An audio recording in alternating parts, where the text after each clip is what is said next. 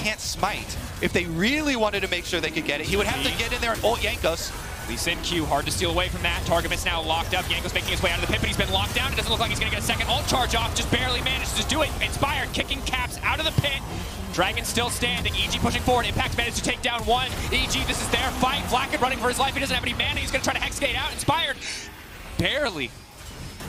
Now pushing for more. Inspired's going for Inspired's hungry for it. The flash over the wall. Inspired. No ward to hop to at this stage. EG getting a dragon. G2 still backing away. Caps waiting over the wall. Big damage. It's really going to delete his support. It's like season three all over, baby. Impact, though, firing back. That is one beefy Mordekaiser. BrokenBlade forced to flash out to safety. Inspired on the backside. Flakked. Red buff, but no mana. The exhaust now comes in. Danny leaping back in. It's Madness with the shield. Just barely keeping alive. Danny manages to survive. He's burning. He's blinking. Lee Sin, what a hero. Inspired with the safe guard. Keeps his AD carry alive for now.